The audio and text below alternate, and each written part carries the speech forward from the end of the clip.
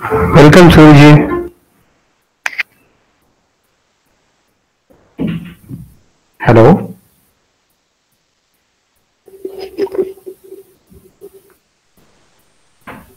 Thanks, sir. Okay.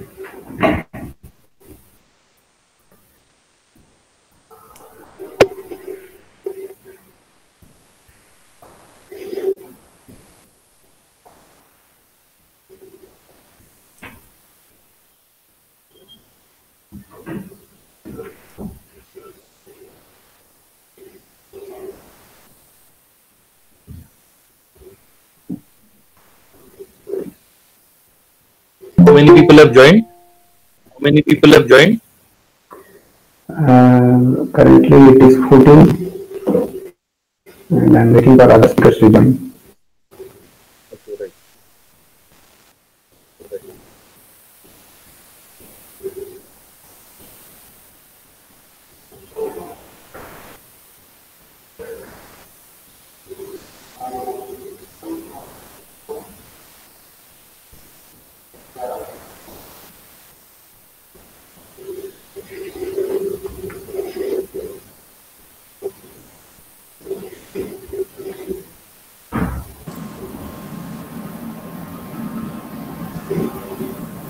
Hi, good afternoon.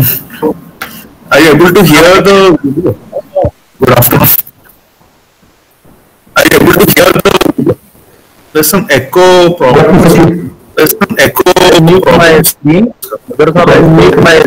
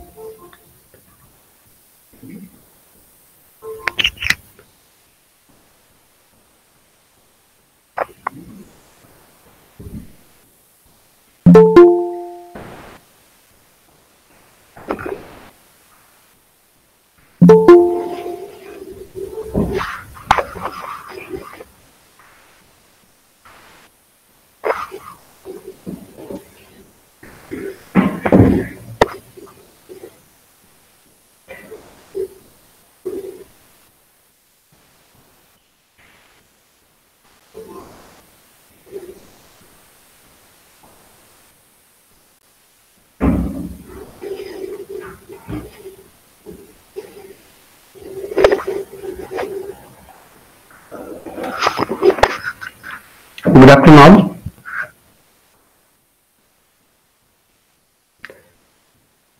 Good afternoon. I hope uh, everyone can Hello, sir. Hi, Gopal. I hope everyone. Gopal. Yeah, good afternoon. So I think uh, all of us, except me, can uh, put it under uh, uh, mode. Mute.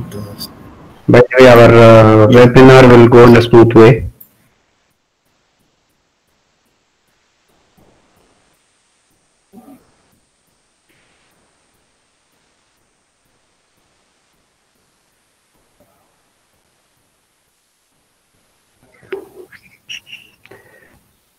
So today we are going to talk about uh, smarten our uh, energy usage with uh, battery management. So today's uh, scenario like uh, we have uh, many uh, energy sources are available from solar to wind energy to uh, coal energy to different kind of energies. But uh, after that, the base uh, energy after are people are generated. Wait for five more minutes. Several people are still joining. Joining Okay, for five more minutes. Several okay, people are still joining. okay. We will wait for, for five more minutes, not more than that. Yeah. Yeah.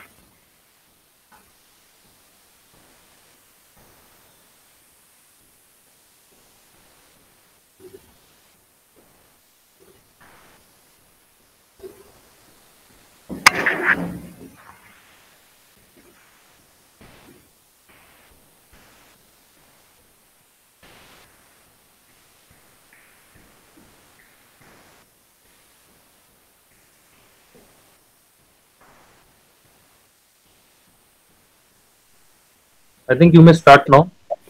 Yes, uh, uh, I think uh, already time now. Already time now. We have uh, we have uh, scheduled the scheduled the speakers. So we start uh, we start uh, now. So so good afternoon once again to all. So we are going to talk about uh, batteries and its uh, battery management system in this webinar. So we have uh, s- uh, we have a battery monitoring system as a, um, a mission to uh, man- monitor the energy sources, which is uh, primary uh, sources are generated from either uh, coal or uh, solar or uh, uh, set of uh, different sources are there. And uh, the secondary source the backup source is battery. So we are relying on the battery. Nowadays it is going to be our life uh, life partner in each and every case. So Sosaley, as Sosaley, we are specialized in battery monitoring management system. So today we are going to talk about uh, battery monitoring system and batteries. So So the agenda is uh, I'm going to give the introduction speech. Uh, we I'm going to give small introduction about Sosaley and the products, and I'm going to introduce the uh, delegates, the speakers, uh, eminent speakers. All are uh, highly experienced and uh, renowned uh, uh, speakers who are having a great experience in this field. So first. The objective is to know the key points about the battery and the BMS. So when it comes to battery, what are the main three parameters is going to be voltage, current and temperature. So these are all the main parameters which uh, we uh, we are supposed to monitor and manage as far as battery is concerned. And why BMS? Yeah, it's a question like why BMS? Why? Because we have an energy source battery and uh, we can run without uh, battery management system. Why BMS? It's a big question. So the BMS has originated where if uh, the uh, the secondary uh, function like uh, when it is a machine or when it is a UPS or when it is a forklift or whatever it is which is going to be used the energy of battery if it is relying on the battery's uh, operation then total safety of that particular function is going to fail if I'm if I'm not monitoring the battery and if I'm not if I don't know about the battery. So first of all, we are doing the battery monitoring system in such a way that we have to know the battery status at any point of time before running our secondary functions either it is uh, uh, energy of UPS or either it is energy of vehicle management. So this is the first and foremost purpose of the BMS and and we have uh, we have classified this uh, battery management system in two broader categories one is uh, stationary battery monitoring system and second one is mobile battery mobile battery monitoring system. So what does it mean? So when when it comes to stationary the battery is going to be uh, in a single place where the all the batteries are erected in a battery rack uh, and uh, uh, the uh, batteries are connected in series to bring out the higher voltage like uh, 220 volts or 440 volts where this particular voltage is converted through UPS through AC for uh, equivalent machines which is running under mains. So it is a backup power source for the secondary power secondary power which is generated and second uh, category is uh, mobile BMS where the batteries are connected either one or two batteries are connected in series but of course we consider as a battery pack this total device or the total equipment which is going to rely on the batteries as a source to operate it. So this is called a battery monitoring system for mobile BMS but we have done a small uh, addition to the mobile battery monitoring system for automotive devices because automotive devices has two uh, segments. One is running under fully uh, electrically operated and the second one is running under hybrid or independent IC engines. So all these cases we require batteries where it needs to start the engine in case of IC engine and in case of electrically operated it is going to uh, fully operated by, uh, with the battery uh, for the tractions. So so we have done the mobile BMS on both the cases, whether it is fully electrically operated or it is operated with IC engine with a starter purpose for uh, battery. So these are all the main bigger classifications or uh, segmentations what we have done in as far as the battery management system as Sosaley is concerned. And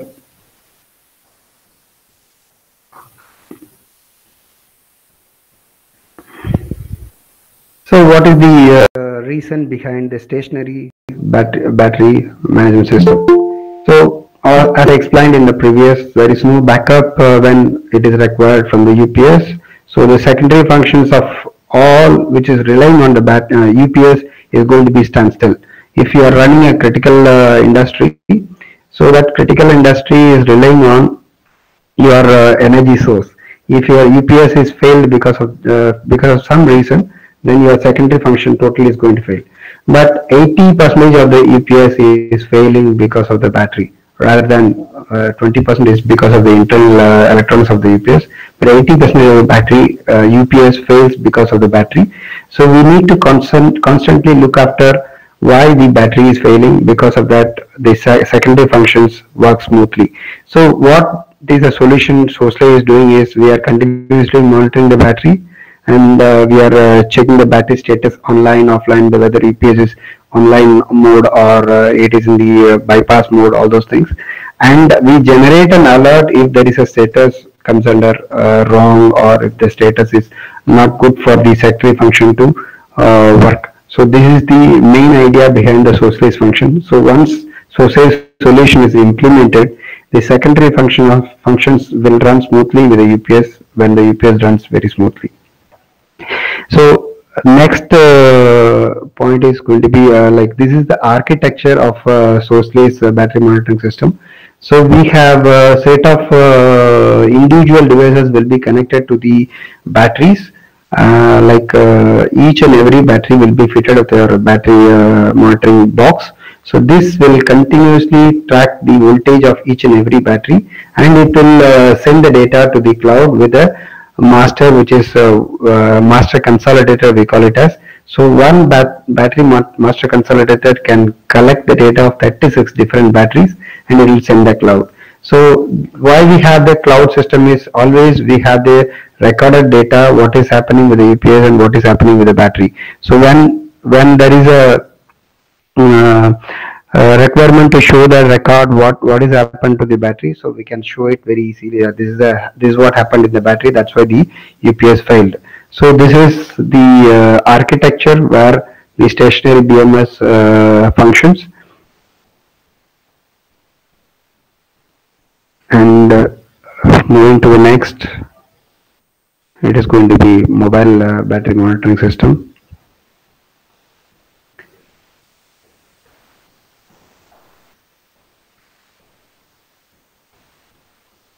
So the problem statement of what we have received from mobile batteries is 20 to 30 vehicles breaks down in between the periodic service because of battery failure in a month. Either it is a automotive battery or it is a electric electrically fully electric uh, uh, battery operated vehicles. Most mostly in a vehicle battery fail, battery failure causes the ma major fa failure of the total vehicle. So there too we are giving the same kind of solution as we have done in uh, stationary uh, BMS, but uh, the architecture uh, falls like this. We have an individual device which is going to send the data to the cloud, and the data which is uh, collected on the cloud will decide whether the battery uh, runs under a good condition and the battery is running good and the battery ha has a good life. So all those things are analyzed in the ba background of uh, cloud and uh, it will send an alert to the concerned user. So this is the set of uh, products which we have for the different segments. First is the inverter BMS and this is coming with the stationary BMS and in case of mobile BMS we have set of uh, products like car BMS, forklift BMS and e-rig BMS. So e-rig BMS is meant for e-rickshaw, forklift is meant for forklift, uh, forklift uh, batteries which is running under uh, battery operated uh, forklifts and car is uh, meant for where IC engine is already there. We are supposed to give the status of function of the bat battery to start the car in the daily morning. So this is the basic um, uh, products what we have it. So with that, uh, I'll move on to the uh, speakers, our delegate speakers. so first we have Dr. Sachin Devassy. He is a senior scientist from CSIR CEERI Pilani, which is a Government of India organization. And uh, he is a doctorate uh, from IIT Delhi in 2019 in the area of uh, design, control and implementation of solar voltaic uh, uh, photovoltaic array and battery integrated unified power quality conditioner. So he is having a great experience on these uh, batteries and power electronics and he is keen on power quality analyzing and uh, renewable energy sources, renewable energy systems. So he will uh, talk about the battery as the first speaker and followed with uh, Dr. Sachin, we have Mr. Saket Suri. He is an entrepreneur from 1998 and he is a proprietor of JK PowerCard and uh, he is a graduate uh, mechanical engineer from uh, Priyadarshini College of Nagpur. He is uh, holding the director position of uh, MASPA, MASMA. It is nothing but Maharashtra Solar Manufacturers Association. And it is a two-year, uh, uh, two decades uh, legacy association which is running successfully with different inputs to the government. And he is associated, associated with Bindal Green Tech, which is a lithium ion battery manufacturing company in Noida, Delhi and uh, they are uh, making batteries for uh, lipo batteries and at the same time they are making the lead acid batteries too and our next speaker Mr. Shirzad Bhathena he is having a 20 years of extensive experience in metal handling equipment uh, like forklifts, reach trucks, wherever uh, there is a uh, material handling. Uh, he is he is having a great expertise on that particular area, whether it is electrically operated forklift or a diesel engine operated forklift. He is he is the uh, expert on that, and he has conceptualized uh, and conceived many frugal and uh, technically light uh, solutions applicable for any make of material handling equipment as a non-intrusive universal solution matrix, and he is interestingly, he is uh, keen on enthus keen enthusiastic and uh, pursuant of his hobby and love towards football. He is an ex-national uh, referee and at, at present he is a qualified uh, match commissioner under auspicious uh, uh, of AIFF. Uh, last speaker, but not the least speaker, eminent and uh, highly uh, energized and uh, expertise on um, EV segment, Mr. Sameer Mahapatra. And he is the country sales head India and SAARC in Aeris Communications. And he is having a vast experience on head of business management with a demonstrated history of working in telecommunication industries where uh, all telematics are comes into picture. And currently he is keen on implementing battery monitoring system and connectivity solutions for electrically operated two-wheeler, three-wheeler on other uh, kind of uh, segments. So this is the brief about uh, our delegate speaker, but they have more and more and more than what I said now. I have just said a tiny part of their profile, but they have a huge uh, profile uh, experience and uh, knowledge with them.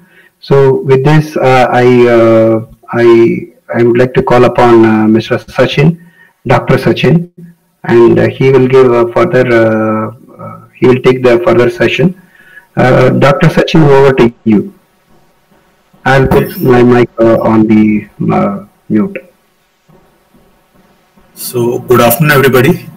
Uh, I'll just begin my presentation. Uh, am I audible? Begin my presentation. Am I audible? Okay. Yes, Sachin, you are audible. Yes, sir. Okay.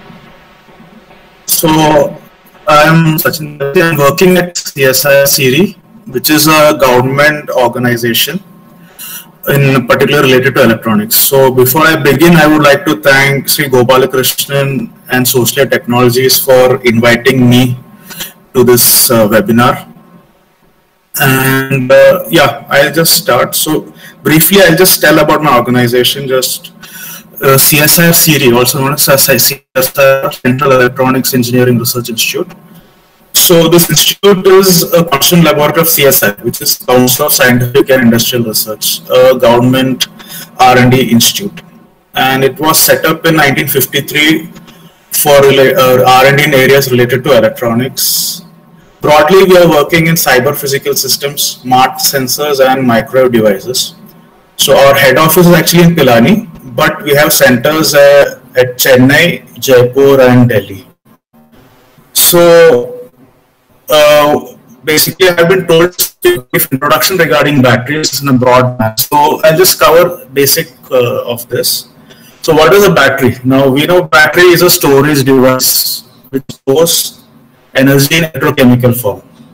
Now basically it consists of two electrodes as we see in this figure and they are separated by an electrolyte and due to the chemistry between them there's a potential difference and hence what happens is that once we connect these two electrodes through some electrical mechanism, through a wire and a load, the current starts to flow through them and then it operates the system just connected, right?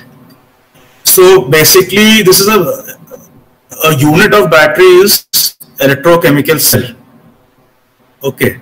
And a number of uh, cells are connected in series and parallel to develop the requisite voltage. So basically what we can see is a lead acid battery is having a cell voltage of 2 volts, nominal volt.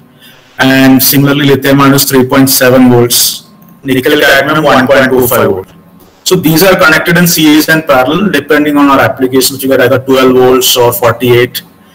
And when I'm saying uh, series and parallel, it may be very simplistic, but there are, especially in lithium ion case, you need to have cell equalization and other factors. I think that will be covered later on in battery management system. So I'll skip through this part.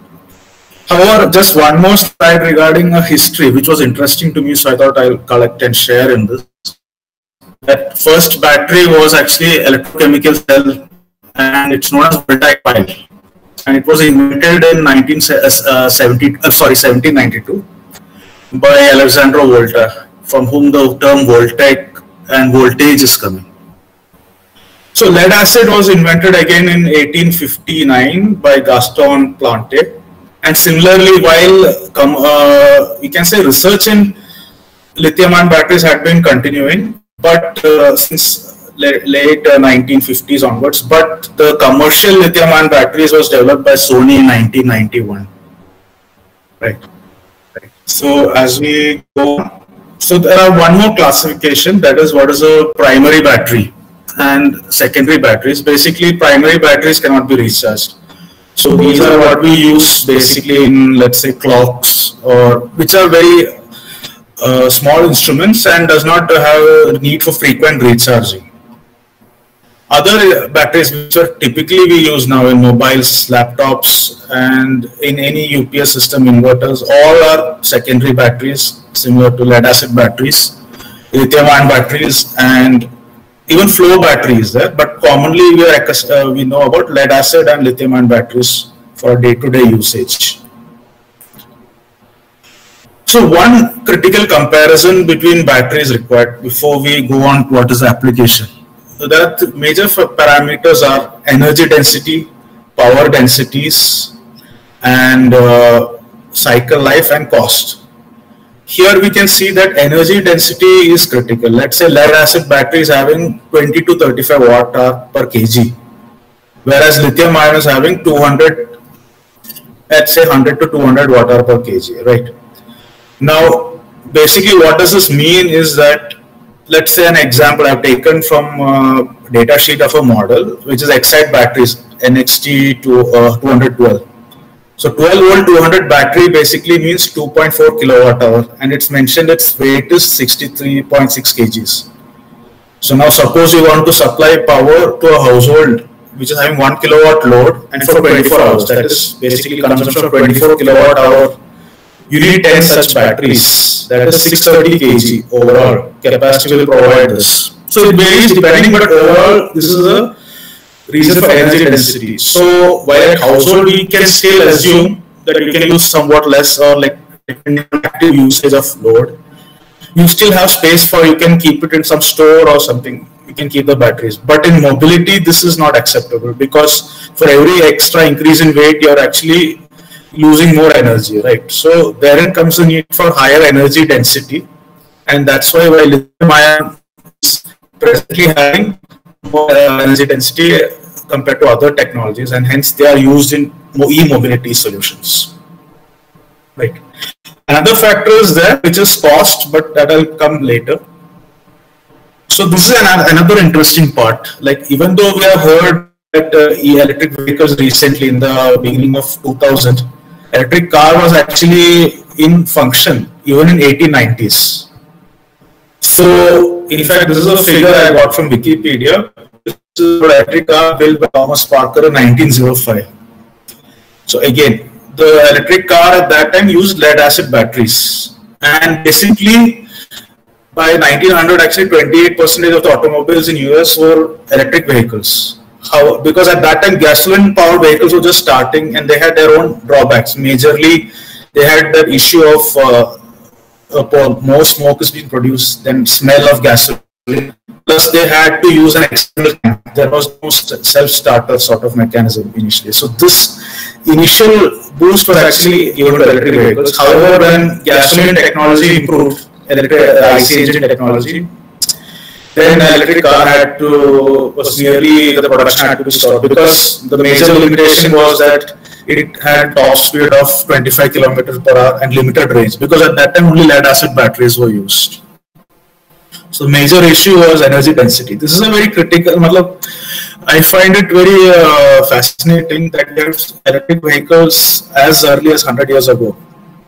So moving on to the next currently uh, based on energy density, one more comparison with respect to our normal IC engines. That is, we have petrol and diesel. We are having energy density of nearly 10,000 watt hour per kg as compared to say lithium ion. So these numbers are uh, like they can be varying because this is all estimate and many other factors such as temperature, pressure all can affect. But what I'm saying is estimate and you can see why petrol is still used in IC engines, right? However, there is one more factor that is the efficiency of electric motor from that grid to wheel. So electric motor has very high efficiency compared to IC engine. As you can see, 77% as compared to IC engine, which is 12 to 30 percentage. However, even if you factor this, we still see that IC engines have more range, basically due to the higher energy density which they can store. And of course, uh, petrol can be filled very easily as compared to charging a battery. However, the major issue of energy density has to be sorted out, and it will take uh, some estimates are saying at least 15 to 20 years before the combined efficiency and battery improvement will nearly equalize with the IC engine, along with other factors such as cost decreasing as well as limited uh, resource diesel and petrol. Uh, Dr. Sachin, actually, we have uh, crossed uh, some uh, timing limits, so already so here we can to wind up a little faster. How, how, so through these, so we can see that uh, this, the cost of lithium ion is decreasing, and this is powered majorly by electric vehicles and renewable energy integration. So presently in entry level vehicles, we are seeing it's e-rickshaws, which use typically 48 volts and 200 Ah batteries. And they have a range of 70 to 90 kilometers and a typical charging time of 10 hours. Now this cannot, while lithium ion can be fast charged, uh, lead acid cannot be done so with, as such. So we need, we have a limitation. Similarly, entry level bikes, they are all in range of 48 volts and the AH capacity is 45 ampere hour. So all of these typically, let's say e-bikes, they all use 250 watt motor and they have top speed of 25 kilometer per hour. The reason being that lead acid cannot discharge at a faster rate as compared to lithium ion. So these are some of the vehicles which are using lithium ion batteries. An e-rickshaw Mahindra Treo, it uses 48 volt battery and is typically uses 75 H to 150 H lithium ion batteries and hence they, they have typically higher speed compared to normal e-rickshaws what we see. Similarly higher end bikes as you can see is Ather 450 and Bajaj Chetak you can see they have higher high speed range of 80 km per hour as compared to lead acid driven bikes. So one point just before I move on is that running cost you can see here that e-bikes, uh, if let's say one Bajaj Chetak 3 kilowatt hour, right? So for cha total charge 3 units, that is let's say 5 unit electricity, you are getting 80 kilometers for 15 rupees. Whereas petrol bikes still, assuming petrol price, we use we need at least 77 rupees per kilometer. So they have higher uh, running cost, but we are not still considering the lithium ion battery life, which is 3 to 5 years. And again, we'll move on to lithium ion batteries where we are using in electric cars and e-buses. Like here, the battery capacity is raised from 30 kilowatt hour to 75 to 100 kilowatt hour, and range is the limiting factor. At least we can say a typical average is 350 kilometer per hour range, whereas typical IC engine cars you can go up to 500 to 600. And in fact, China has made a bus which is a battery capacity of 350 kilowatt hour and they are typically suited for city bus driving and uh, not for long distance driving because again the charging time is the limiting factor. Now I'll move on to the another application of battery which is in uh, renewable energy system as off-grid systems and hybrid solar system all require energy storage. So earlier what we had was typically tall tubular batteries, right? Because they're having higher lifetime compared to VRLA batteries and but now there are lithium ion batteries also being used, and we can see the famous example is Tesla Powerwall, which you can see as very compact and good design for 14 kilowatt capacity. And nearest competitors at present, uh, LG Chem's RESU battery, which you can see here. So lithium ion is also taking over in off-grid systems also, but of course they are high costing like Tesla Powerwall, which costs around thirteen thousand dollars. So it's all very high end end of the market. One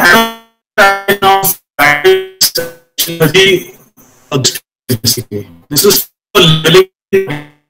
typical demand which is not flat curve. The demand will be higher during night time, it will be middle during daytime and lower at uh, for at uh, midnight onwards.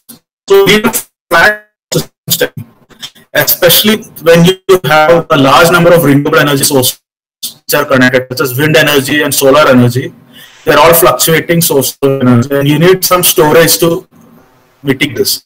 and you're having lithium-ion batteries as well as flow batteries are used. An example which you can see the figure is battery by Tesla, which is uh, 130 megawatt hour capacity installed in South Australia.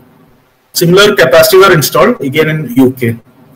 I think some other battery technologies are sodium ion batteries. Again, we are looking into this, but it's not mature because uh, investigations going on. However, sodium is more abundant. So the fact that lithium ion is limited is actually promoting research into sodium ion. There are some industries. I would like to mention one point that CSIR in Karaikudi has also developed some prototypes for sodium ion batteries. So Another thing we can see is about solid state batteries and in fact they have said Samsung Institute has developed some battery based on solid state technology which has high energy density and using this technology it is said that EVs can have a range of 800 kilometers. Some other storage technology I'll skip through this that is flywheel storage and ultra capacitors. Basically, ultra capacitor I would like to mention, it is being used with electric bus which are frequently braking and acceleration. Dr. Sachin, sorry to interrupt you because uh, it's already time. Yeah, so uh, is done. So as a I would say that batteries and for optimal performance you need to use advanced batteries along with other storage and as well as that you need advanced electronics and AI techniques for optimal health, uh, health management as well as monitoring. So with this, I would like to thank everyone. I am sorry for exceeding the time limit a bit. Thank you all. Uh, thank you, Dr. Sachin. So uh, quickly, move, I move on to the next uh, delegate speaker. Already we are in a delay. So I I would like to call upon uh, Dr. I mean uh, Mr. Suri uh, Saket Suri to talk about uh, the uh, solar uh, battery management. Uh, Suri, over to you.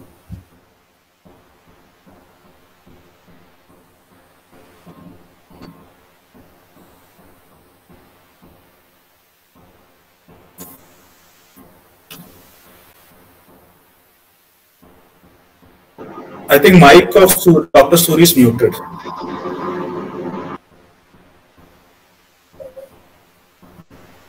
Thank you, Gopalji. Yeah. Uh, I would like to thank you and Sosaley for inviting me on this platform. Sosaley is our consultant for remotely monitoring our battery packs used in solar industry. Uh, Dr. Sachin, your information was also very uh, good. It was uh, really enriching our experience. I think I would thank like you. to contact him. Now, what uh, special we have in solar inverters and why there is a need of battery management in solar inverters. This need is to be identified. See, solar inverter essentially uses solar energy and as we all know, sunlight is not available round the clock and also its intensity varies throughout the day. So it means generation varies. In short, we can not be fully dependent on solar energy unless we have a parallel and consistent grid or a reliable battery storage. Till we have these two things, it is not possible a solar can work smoothly. Excess uh, gen energy generated by the solar system during the day can be stored in the battery, which we can use at night, obviously. As well, if the generation is less in the day and we have more requirements, we can withdraw the additional uh, energy we require from the battery. So there is definitely a need of battery system so that we can use solar energy effectively. Now managing these batteries uh, is a concern. Why? Because batteries, they cost almost uh, more than the solar system itself. So if we can manage them well, our electricity generating cost can reduce drastically if we invest too much in batteries and their maintenance co maintenance cost and their replacement, it will be a havoc, and no one would then prefer to go for battery system. So the management of batteries can be done at two levels, basically. One is at the inverter level itself, at the solar inverter level itself. Basic uh, conventional solar inverters necessary ha necessarily have the basic features like overcharging protection, just to see the battery is not getting overcharged, or deep discharge protection that battery voltage does not fall below a certain level. Then there is a multi-level charging protection. Uh, earlier, the batteries was charged at, at a CC constant current, constant voltage uh, process by constant current, constant voltage process. Now it has a multi-level charging. When the battery is a, uh, a bit deep discharge, they charge it very fast. And as the battery voltage increases, they bring down the charging rate so as to increase the battery life. So deep discharging protection and all these protections are there. This is with every basic inverter.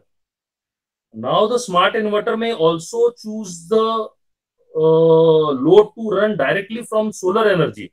If solar energy is abundant and requirement is within the limits, they can uh, obviously use the solar PV panels directly to run the load by inverting the DC into AC energy or partly on battery. The second uh, preference they may give to battery. If the battery is fully charged, they may use some component of the battery. And if still the energy is short, it is clou cloudy weather and battery has fallen down to a certain level, then they can use grid as well. So smart energy, smart inverters have these preference modes. Here the management system basically senses the battery voltage and runs the load accordingly. So this management we are doing at solar inverter level. Now we come to the battery level. Apart from the conventional practice of managing the batteries at inverter level, the new age batteries are required to be monitored and managed at the DC side as well. High energy density batteries without proper protection and management are prone to mishaps. See, uh, lead acid batteries were very safe. They uh, hardly had any problems. They were bulky, yes. They were uh, having a short lifespan, yes. But uh, there was no problem of thermal runaway or combustion. Now, with the introduction of lithium-ion batteries and lithium ferrophosphate batteries and other different uh, batteries which are coming with high energy densities, the problem is that you need to monitor these batteries at cell level, at DC level, so that if there is a temperature increase or there any other kind of problem arises, they do not uh, have a thermal runaway or thermal blowaway, whatever you may call, and it causes combustion. So that's why there is a need to manage the batteries at the DC side as well. For this, we need to understand the types of solar inverters. Uh, you are sharing the screen, Gopalji? Yes. The types of solar inverters. Uh, yeah, so types of, yeah, yeah. So why we need to know the types of solar inverters? Because all solar inverters need not be needing a battery at all and some may partially be dependent on battery. So how they are classified? We need to understand the types of solar inverters commercially available in the market. There might be a number of types, but which are commercially available in the market and their applications to further understand the importance of batteries and significance of battery management systems according to their types. So broadly, if I classify, there are three types of solar inverters. One is the off-grid inverter. Second is the on-grid inverter. Third is the hybrid inverter. Now coming to the off-grid inverter. Off-grid inverter as its name suggests, it is uh, simply an inverter which is off the grid. It is not connected to the grid or maybe it is not dependent on the grid. So in off-grid inverters, grid may not be available or inconsistent. For example, there are parts in India where power cut is like 6 hours, 8 hours long or power cut is very frequent or voltages are not correct they fall down to a level uh, below which our loads cannot run. So there what we may do is that we may use a PV panel to charge the battery and we may use it, the inverter may run the load directly on solar PV panels during the day if the energy is sufficient and it may use the battery if the energy uh, generated by the solar PV panels is uh, having a shortfall and it may use the grid as well or it may not be dependent on grid. In the night essentially the inverter may use the battery which we have installed and that too up to uh, only up to a certain battery voltage. It won't be discharging the battery completely if the grid is available. Second, we come to the on-grid system. Now, on-grid system uh, is a boon. Why? What it does, if, if you have a good solar policy in your state, which almost uh, entire India has, whatever your total energy requirement is, for example, you require 1000 units of electricity a month. So you install a equivalent system which generates 1000 units of electricity. But essentially these 1000 units are generated in the day itself. You might be requiring 500 units in the day and 500 units at night. So what on-grid system does, it generates the 1000 units in the day. You consume 500 units in the day directly. The additional 500 units, it exports back to the grid. And by means of a net metering arrangement, you take those 500 units back at night.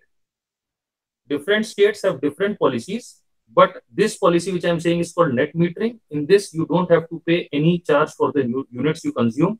If you had exported back the units you had availed from the grid during the night. So this is basically on-grid inverter. Now, third, we come to hybrid inverter. Now, I would like to also say the drawback of on-grid inverter. On-grid inverter does not work if there is a power cut. All the energy generated is wasted. It won't be exported since the grid is not available. Neither you may be able to use the generated energy at your uh, premises if there is a it will only work if grid supply is available it, it would simply not work if grid is not available so this is the drawback of on grid inverter but this drawback only implies when there is frequent power cut or the power voltages fluctuate a lot then only this drawback is there if your power supply is consistent then you may simply go for, for an on-grid inverter which does not require batteries coming down to the third type the hybrid inverters which essentially hybrid inverters is basically a combination of off-grid and on-grid inverter. It works in case of power cut also. It works without power also if the, the grid is not available. And it generates the energy from PV panel and supplies to your uh, premise, your load directly. Excess energy, it may be used to charge the battery. If further there is excess uh, energy generated, it may also export the battery to the grid, which you may very well use at night so this energy, this type of inverters is a boon where there is a power cut of say two, three or four hours a day. On grid won't work. Why? Because it will simply shut down if the grid is not available. Hybrid will export the excess energy. You will uh, use it at uh, night and your electricity bill will come down to zero. So this is about the three types of all the three types of solar inverters broadly used commercially available in the market. Now we are coming down to evolution of solar batteries and management. See, the technology is changing day by day. So how these solar batteries have involved, as Dr. Sachin rightly said, the earlier stage of batteries and their applications. So how these have uh, evolved, I'll like to put some light on this. See, the conventional solar batteries were based on lead acid chemistry, which were further divided into wet and dry. Where wet were essentially the electrolyte based sulfuric acid uh, the electrolyte used normally was the sulfuric acid and lead was used. Uh, they were heavy maintenance batteries. Heavily, they used, uh, they uh, were bulky and they heavy maintenance was needed for these batteries. And then there were the dry batteries, which were also lead acid batteries. They were known as VRLA, valve regulated lead acid batteries. They used the maintenance free gel technology. Both these batteries were cheap where VRLA batteries or dry batteries uh, didn't need any kind of maintenance. But life expectancy of both, both these batteries were poor. And even the energy, energy density was very less. You, this was the reason Dr. Sachin exactly said that why lead acid batteries were discontinued and uh, IC engines uh, came into place. Why? Because they were bulky. They had limited range. So these batteries for stationary applications like inverters, solar inverters, they are they were a boon. And now after these lead acid batteries, uh, the normal we call them plate valley batteries. Now the major, the only major and reliable improve, improvement in the lead acid battery are the tubular batteries. These tubular batteries have a decent lifespan, although they are still bulky. So they are uh, my most preferred battery for solar applications. They may be bulky, but their initial cost is very less. If you have the place to keep it, you can definitely go for tubular batteries. They are cheap and they require very less maintenance. They require maintenance, but the maintenance is not very costly. And uh, it can be used for stationary application very nicely. It is very, very successful in Indian solar industry and is used widely. It is very, very reliable. Sorry, Suriji, the timing is going up. Uh, so can you just uh, speed up your uh, talk? Okay, then I'll come directly to the battery management system and the scope of it. See, now we now with the onset of lithium-ion batteries, maintenance size and life lifespan issues are resolved. But other issues of high upfront costs and need of DC level battery management system arise. Lithium ferrophosphate had this drawback also resolved, and now with constantly reducing prices, it is set to take the crown from tubular batteries. Now, battery management systems, they are basically specialized computers and sensors to make battery smart and provide real-time monitoring of how battery is performing. BMS or battery monitoring mon monitoring system, as we say, can monitor battery voltage, the current being discharged or uh, the current at which it is being charged, the state of charge of the battery, the state of health, temperature, and other measurements. They can be displayed real time, and uh, they have numerous benefits for different chemistries of batteries also. Without BMS battery, operators depend solely on routine maintenance to identify upcoming battery problems and determine when to rehab or replace the batteries. Even maintenance-free batteries require periodic inspection for optimal performance and standalone BMS can supplement on-site inspections for owner's maintenance efforts. A BMS can optimize battery reliability, safety, maintenance, performance, and lifespan. Already Gopalji and Sachinji have discussed upon this. Now I'll come down to the scope and government initiatives for uh, these new age batteries with BMS.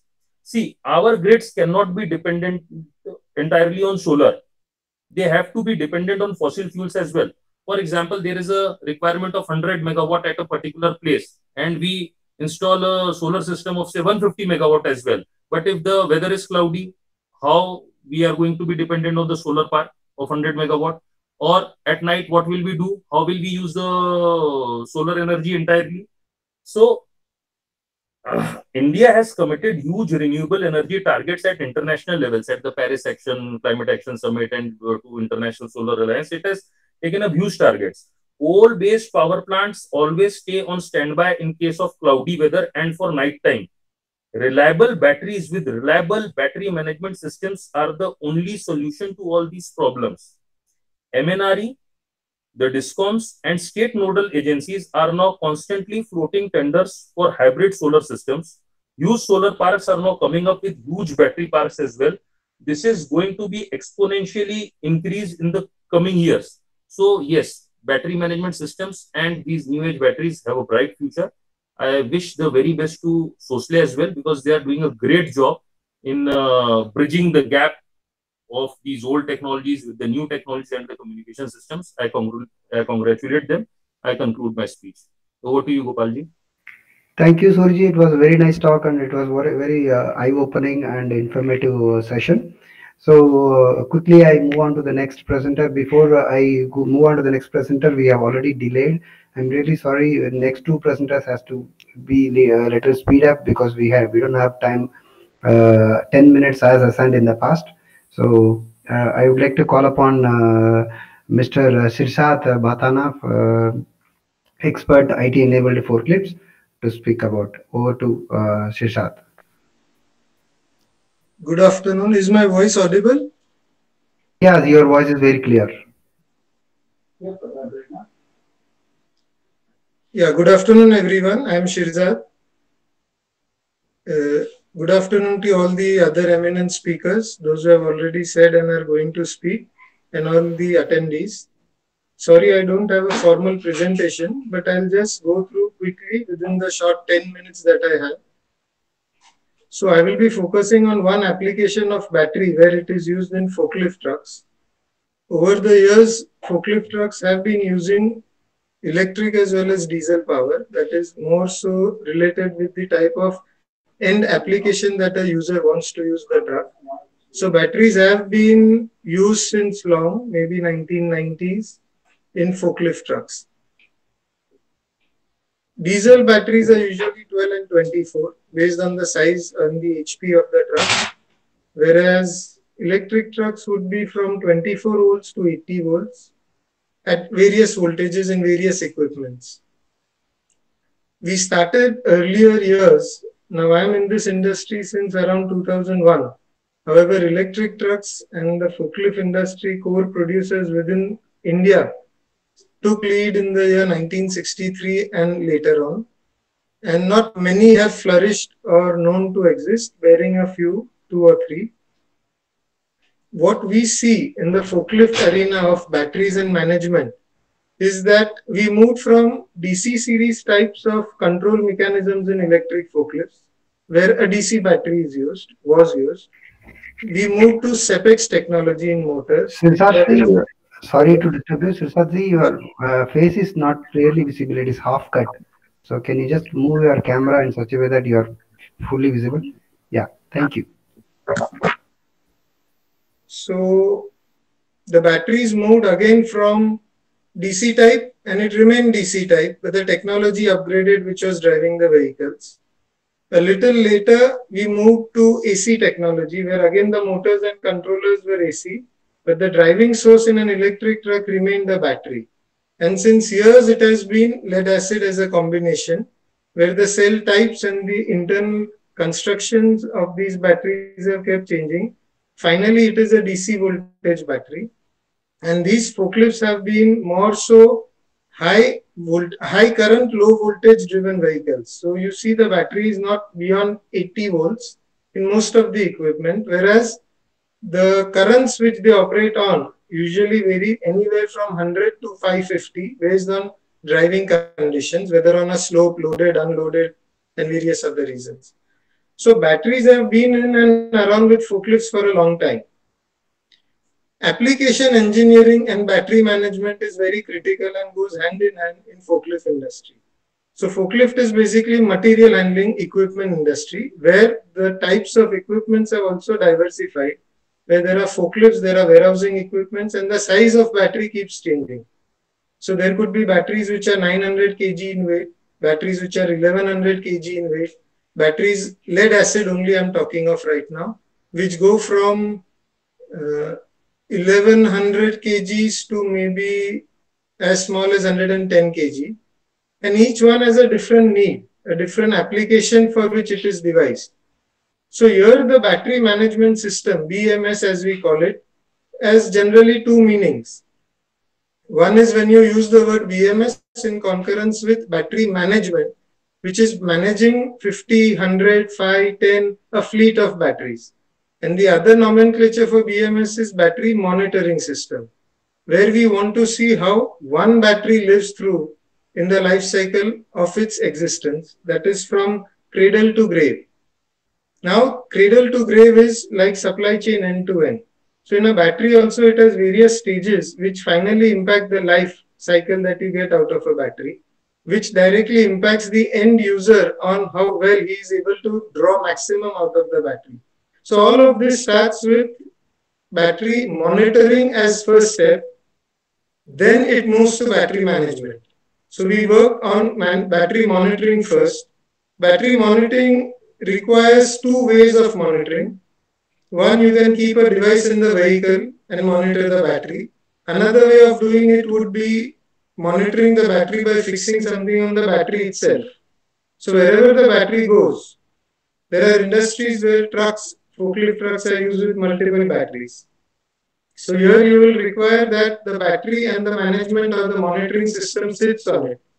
So this is where battery monitoring will be very healthy. Now, as of today, there were no standards, no particular reason. People were happy with the way things were running. But as everything moves on cloud and becomes IoT or IT enabled, so do people want to leverage the fact and try and see how well they can manage the battery first and then manage the fleet of batteries. Now, when you say manage a battery, there are certain things that we need to look into. The device has to be very compact it has to be enclosed in an enclosure which is to some extent protective from the acids which are there in a battery. As you fill top up water, there is a chance of battery getting some leakages which could corrode the device. So battery monitoring system needs to have this provision of the enclosure being a little sturdy and it needs to transmit data. Now, when we say transmit data, everybody moves on saying IoT of things, Internet of Things, and we start venturing into solutions which become very light to heavy. When I say light, it's light in terms of data being handled. So today we are starting with a So let's say some years back, even a 2 GB pen drive was considered to be huge. Today, 128 GB is like nothing. It's available in our cell as well.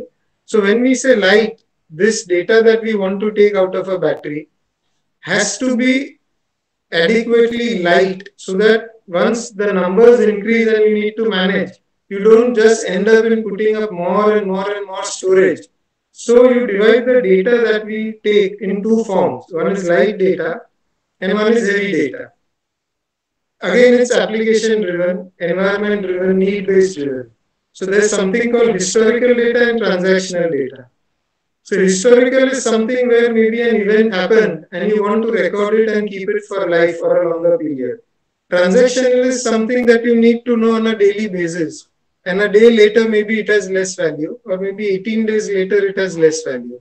So these type of data identification upfront helps us in making the system light or heavy. And accordingly, we need to decide whether we need to do edge computing or cloud computing. So when we are heavy on data, where huge amount of data is being pushed out, you could prefer using cloud computing. And when we are doing light data, we could encourage using having a deeper processor, deeper, deeper processing capabilities with the controller that is there in the device on the truck on the equipment, on the battery. And that way, what we transmit is light. So again, it is dependent on the end user application. All of this boils down again to application engineering to meet a need. Unless you specify your need clearly, you will end up doing things which over a period of time will either be too cost heavy or will be not in a position, you will not be in a position to manage them efficiently. And then we'll start thinking of other ways how to manage them efficiently. So let's start thinking the end result, end requirement today and decide on the ways how we want to do this. Now, when we say battery monitoring system, we tried something with Sosaley as well.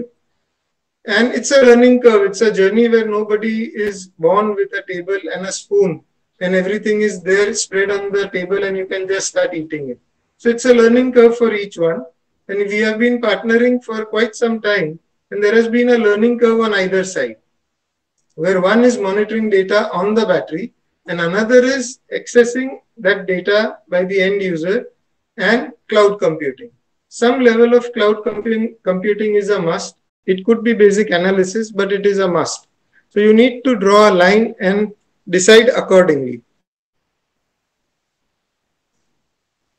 When I say cloud computing, you need to push data to the cloud. In industry where forklifts run, there is a usual constraint of Wi-Fi availability. So between Wi-Fi and GSM, we need to have a proper understanding what works in the environment. Maybe gear up devices for suitability to both, or maybe just select on GSM and run ahead. Because when we say Wi-Fi and we try to take up space or the Wi-Fi connectivity at an end customer place, it's not so easy to connect considering the IT laws and the governance and the filters. So I think I've run short of time. It's 10 minutes and I would like to end here. You are always free to speak to me via Sosaley team. They will have my contacts in case somebody needs that. And I wish everyone good luck and be safe, be indoors. Thank you. Thank you very much, Siddharth. It was a wonderful talk and it was very informative. Uh, and uh, uh, thank you very much. And I move on to our next eminent speaker, Mr. Sameer Mahapatra, who is from Aeris Communication. so over to Mr. Sameer. Hi, uh, Gopal. I uh, I hope I am audible. Uh, thank you uh, Sosaley for this opportunity and uh, eminent speakers who've come and spoken so much about uh, technology and the evolution. Um, uh, you know, I was looking at uh, Dr. Sachin's presentation, and um, and so was uh, Saket's very interesting deep dive into how battery management on solar, um, you, you, know, is is helping and how the evolution of battery has happened. And honestly, for me as a uh, as a um, you know uh, as a representative of the uh, business world this has been uh, quite enriching um, um, uh, session as as you know being an audience to to the eminent panelists. So thank you um, all of you for that, and I'm sure I'm going to reach out to many of you for further insights. so a quick introduction of what quick introduction of what do uh, we do as Aeris Communication, and and then I'll quickly give a perspective about our uh, uh, about our role in what we are doing in, in, the battery management space, or what are we seeing here, and where why it is so relevant from a market perspective. Uh, I think the insights that uh, I'm going to share would be more on uh, how is the market consuming battery management solution, what is the commercialization of you know BMS that we are seeing today over the last 12 months. Uh, so quick intro about Aeris Communication. Uh, this is a two decade uh, year old uh, organization. We are headquartered out of San Jose in California. This company has been primarily founded as a uh, MVNO for uh, connectivity business. So 20 years back, somebody had the bright idea of saying that you know we would start providing connectivity to machines um, while there were so many telcos uh, providing connectivity to for voice calling. And that's how the uh, company originated. Uh, uh am i audible uh, gopal? Yes Sameer, you're clearly okay. audible. Because somebody just messaged saying my mic is off in India, we started in I, IoT operations. not uh, visible. Your video is not visible. That's why people are uh, having some trouble. Uh, okay. Uh, no, it is visible my... to me, but it is a setup. They have to make it on Google Meet. Okay, so uh, let me just try again. Is that better? Are, are you able to now see me, Gopal? Uh, no, no, it's not at come. Uh, in the past, I could I could see you, but uh, currently I'm not able to see you. One, yeah, I'm able to see you now. Okay, Gopal. I'll so I'll continue from where I had just stopped. So Aeris Communication four years back, uh, you know, launched their uh, India operations where uh, the business was primarily to provide an end-to-end IoT solution across sectors. So while telematics for us in the last uh, four odd years have been our mainstay. Uh, there is uh, there is a lot of work across manufacturing, healthcare, and pharma that we have initiated, including industrial IoT. but telematics clearly, you know, has been our area of expertise. we've invested ourselves in an entire in creating an entire uh, uh, suite of uh, you know the entire IoT gamut. it has been over my last 20 years of experience in the telco space. I can share with you that uh, IoT has been such a uh, vaguely and uh, loosely used word. Uh, you know that from device manufacturers to platform providers to system integrators, everybody uh, you know has started taking uh, a share in this and taking a shot at what they believe is IoT. Um, and and it, and that's the perfect way of evolution because IoT continues to be in a nascent stage, not only in India but in many developed nations as well we uh, fortunately in India, uh, somebody like Aeris Communication has a um, has an end-to-end uh, play in IoT uh, from the devices to the platform to the after service. Uh, we look at look at the entire gambit of how the customer lifecycle management you know is taken care of. from acquisition to, um, you know, as uh, Shirzad said, from the cradle to the grave stage one of our areas of specialization has been electric vehicles and and and i think that is where this entire conversation of battery management uh, solution uh, and bms becomes so relevant. We've seen in the next last 12 to 18 months close to 500 new battery manufacturers uh, per se uh, launch their operations in india now uh, one of the reasons why obviously this surge of battery uh, manufacturers happened is is to is for them to be able to support another uh, close to uh, 450 registered two-wheeler and uh, uh, three-wheeler manufacturers coming up in this in this country. While I speak to you, we personally, as an organization, deal with close to 144 two-wheeler and three-wheeler OEMs and ride sharing companies and fleet management companies in this country. And uh, almost 95 95% of these are electric vehicle companies. Now imagine you know the kind of companies that have come up with over over the and this has all happened over the last uh, uh, 18 months. Uh, the reasons for such a surge in uh, electric vehicles in this country obviously uh, as i think saket mentioned in one of uh, in one of his slides that india's commitment to the entire green revolution. Second the enti entire movement of you know government subsidies and you know government push on e vehicles there are are there challenges in uh, in e-vehicle uh, implementation across the country? There are big challenges right? We ourselves are seeing that government's ambition has been uh, you know uh, has been has been challenged by many um, uh, for many reasons uh, one of them being the entire infrastructure of charging across the country right but as you know as days pass by and as as we see so many new charging alternatives come up uh, the entire ecosystem of electric vehicles is only becoming uh, stronger uh, month on month, pushing up the requirement of a intelligent battery ecosystem. Mobile batteries, specifically, battery swapping stations, battery swapping providers are coming up big time across across the country. unlike IC engines and unlike um, uh, con uh, conventional vehicles, 35 to 40 percent of the cost of a two wheeler or three wheeler today goes towards the uh, battery. Now that makes battery such an uh, such a critical portion from a cost for both the OEM, the dealer, and the end consumer. Uh, so while uh, you know it is zero to one in a uh, in an electric vehicle scenario, which means that if the battery suddenly stops working, uh, you know, the vehicle won't even boot up, right? That's from a functionality perspective. But when you look at it from a uh, ROI and uh, uh, uh, expense perspective, this battery management solution becomes so critical. Uh, you know, you call it state of charge or state of health um, or other parameters being thrown dynamically. so you know we are approached when we are talking to most of our two-wheeler and three-wheeler uh, OEM customers, uh, one of the most critical thing that they have started now getting worried about is about how credible a battery management system is uh, is available in this part of the world how how sustainable it is how open standard these bms solutions are. Because you know if they tomorrow change their uh, you know battery cabinet size or the vehicle design how, uh, you know how well it can be adopted.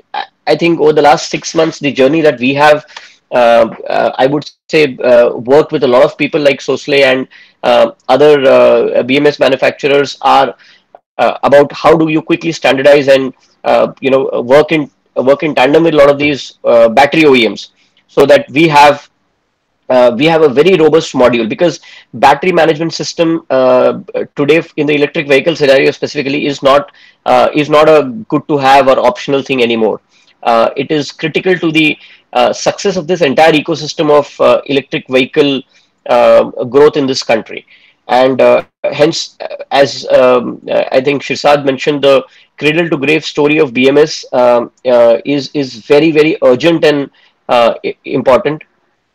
If from an India business perspective, I can I can very clearly tell you that uh, the journey is just begun uh, for the BMS thing, and the growth of electric vehicles and that ecosystem has been much faster than the than the growth of the BMS uh, ecosystem and uh, uh, you know uh, whenever I've spoken to Gopal and my other counterparts and colleagues in the vendor ecosystem, we've only impressed upon them the fact that um, uh, the BMS industry per se in India, from an electric vehicle perspective, is is far behind uh, as compared to the uh, electric vehicle industry growth itself. we, as an integrated IoT player, we are um, we are large consumers of um, the BMS as a we are large proponents and we are uh, you know uh, we've been uh, if i may use the word desperately trying to work with many startups and established bms players in india and outside to bring in something very credible to the market so um, i mean that's all from my side gopal on this session my uh, thank you for uh, the lovely audience and the opportunity given. I'm looking forward to a lot of new solutions and um, uh, improved product versions from Sosaley and uh, uh, other BMS players in the country. any questions and you know we can be connected through Sosaley in future. Thank you, thank you very much for your wonderful wonderful speech and informative things what you have shared with us, Mr. Sameer. So we will move on to the question and answer session. So already we are uh, crossed the timeline as planned today. So it's better we have uh, things every uh, every questions can be uh, put on the chat. I will consolidate and uh, speak to the concerned speaker, and will give you the uh, answers through your email ID because we have crossed more than 10 minutes because I, I got their busy schedule timing within this. So thank you very much, the speaker. So we have already crossed 10 minutes more than the session and we will uh, share the questions uh, to the concerned speakers later uh, through your email id and you can uh, give your answers uh, to the uh, participants. So with this I, I thank everyone who have joined in this session and especially the speakers who have given their wonderful experience and thoughts about bms so thank you very much to everyone uh, so yeah, feedback form will be shared to everyone whoever uh, in the in the meeting. So please fill your uh, feedback form and uh, give it to us uh, to improve the webinar further better, and we'll we'll come back to you with a better or more information with this battery management system as of now. Thank you very much. nice, thank, you. thank you. Bye. Thank you. Guys. Sure. Thank you. Thank you.